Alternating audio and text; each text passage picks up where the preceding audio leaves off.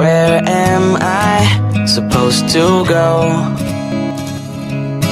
If you are where my home is, I guess that makes me Osteoporosis.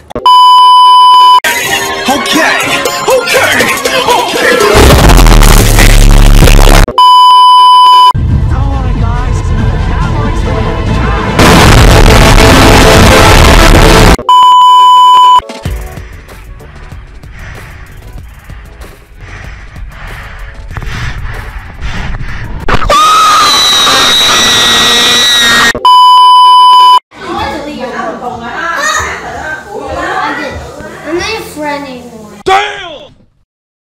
Oh my dude, you just got pranked. Bet you didn't see that one coming, huh? Would you rather your child had feminism or cancer? What's the difference?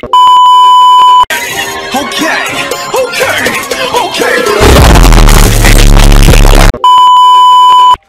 Hi, how are you? I never thought I'd hear myself say this, but please Kill yourself.